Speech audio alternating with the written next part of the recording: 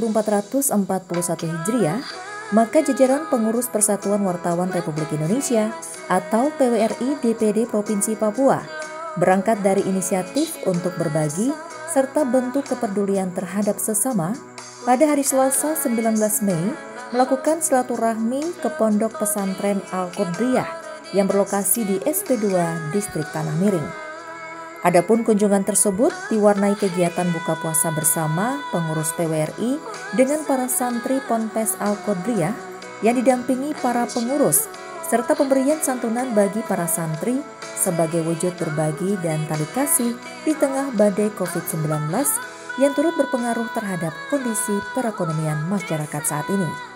Eh, kami dari PWRI Persatuan Wartawan Republik Indonesia DPD Provinsi Papua saat ini datang berbagi di pesantren Al Mukoro di SP2 Tanah Miring. Eh, di mana hari ini kami datang berbagi untuk eh, membangun tali silaturahmi dengan teman-teman di pesantren ini. Semoga mereka juga bisa merasakan sukacita daripada eh,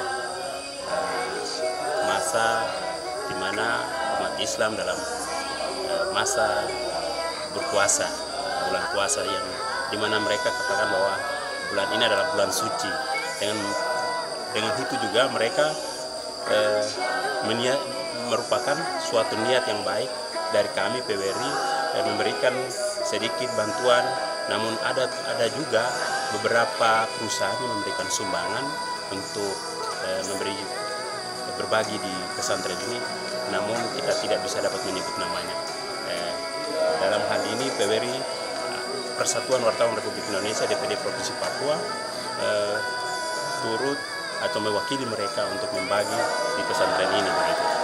Eh, mungkin dari kami PWRI ke depannya akan saling bekerja sama dengan eh, baik bukan hanya pesantren ini, pesantren-pesantren yang lain juga dan mungkin ke depannya juga kami akan lebih eh, berbuka diri dan membangun kerjasama dan bisa mengangkat eh, di mana mereka yang ada di pinggiran kota ini dan bisa diperhatikan, diperhatikan oleh eh, pemerintah untuk memberikan bantuan kepada mereka.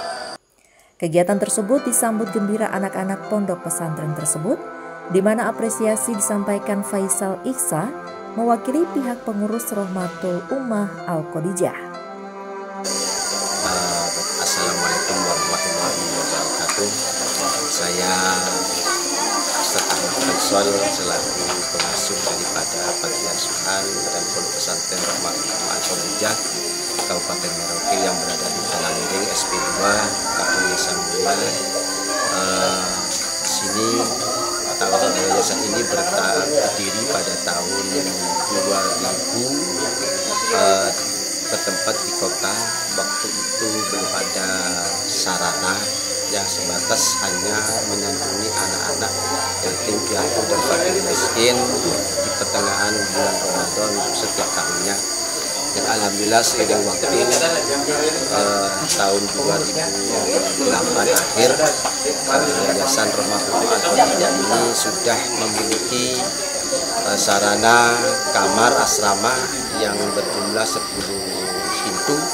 Alhamdulillah dihuni sebanyak 50 anak yatim piatu dan fakir miskin putra dan sehingga sampai dengan uh, tahun 2015 Madi diasuh oleh Ustaz Abdul Bakir yang mana menjadi adalah orang kami uh, dan Alhamdulillah di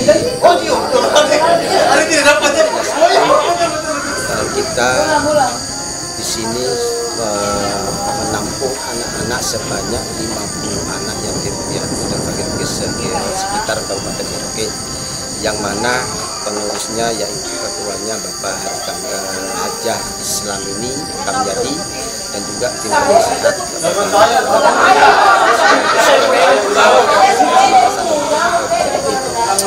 yang mana pada waktu 2009 sampai 2012 sekitar di tahun itu kita masih uh, dengan keadaan yang sangat uh, minim dengan penerangan kita masih memakai diesel. Alhamdulillah seiring waktu 2 tahun 2012 hingga sekarang ini kita sudah memakai penerangan daripada PLN dan juga sekaligus Alhamdulillah pada tahun 2016 kita sudah memiliki gedung operasional untuk pendidikan formalnya yaitu SD Al-Khadijah yang sudah menginjak empat tahun ini dan juga ada penambahan dua gedung dari uh, untuk kelas 4 dan 6 dan alhamdulillah pada saat ini anak yang berdomisili yang bertempat tinggal di asrama kami ini sebanyak 35 anak mencakup dari daerah dari kampung uh, Jagibor 13, Jagibor 12, uh, Muting, Sota, Kurik dan Tanami dan Semangga. Alhamdulillah uh, setiap tahunnya pun kita selalu menambah siswa yang formal maupun yang berada di asrama. Semuanya adalah berstatus fakir miskin, yatim dan piatu. Yang mana alhamdulillah setiap Ramadan kita selalu dikunjungi oleh hamba-hamba Allah instansi maupun uh, dari kelompok-kelompok organisasi yang mengadakan buka bersama. Alhamdulillah saat ini kita dikunjungi oleh Eh, rekan-rekan dari PWRI DPD Papua untuk melaksanakan buka bersama di uh, yayasan-yayasan kami ini Rahmatul Al Khadijah.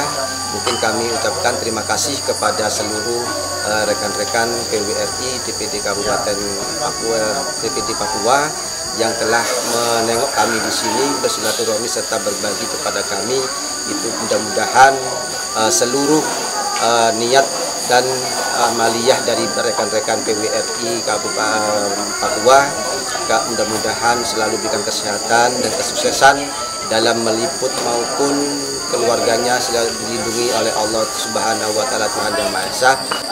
Baiklah uh, kami di sini selama terjadi pandemi Covid-19 yang terjadi di uh, khususnya di daerah kami Kabupaten Merauke ini yang mana sedikit terganggu proses belajar dan mengajar kami di sini. Anak-anak pun belajarnya pun dalam keadaan terbatas yang mana dampaknya adalah anak-anak tidak bisa fokus dalam menempuh pendidikan baik itu dari segi keagamaan maupun dari segi formal Eh, anak-anak uh, kami sangat-sangatlah uh, apa membosankan di dalam lingkungan kami. Ini karena mereka fokus belajarnya pun tidak uh, apa namanya tidak tidak terlaksana belajar-belajarnya seperti biasanya. Itulah dampak daripada COVID-19 ini. Dan harapan kami selama COVID-19 COVID ini kami pun terkendala dengan biaya-biaya operasional dari segi dari segi peralatan belajar, dari segi mungkin laut pautnya dan juga dari anak-anak kami kegiatannya yang yaitu untuk sehari-hari untuk perlengkapan mandi, uh, alat tidur dan sebagainya itu pun sangat uh, mengganggu di, di lingkungan pesantren kami ini. Dan harapan kami kepada pemerintah Kabupaten Merauke mudah-mudahan uh, dengan uh, segera berakhirnya wabah COVID-19 ini mudah-mudahan uh, mengingat kami di sini untuk mendonasikan ataupun memperhatikan kami yang di sini untuk uh, uh, biaya operasional dan sebagainya pun uh, kami harapan kami di situlah mudah-mudahan tergerak dari Bapak Bapak Bupati Merauke yang saat ini diuji oleh Allah Subhanahu wa taala dengan wabah saat ini terjadi. Mudah-mudahan diberikan kekuatan dalam memimpin daerah ini dan mudah-mudahan uh, selalu bisa mengatasi wabah saat ini mudah-mudahan cepat selesai dan segera hilang virus uh, COVID-19 ini di Kabupaten Merauke khususnya dan umumnya di negara kita Republik Indonesia ini. Amin Allahumma amin.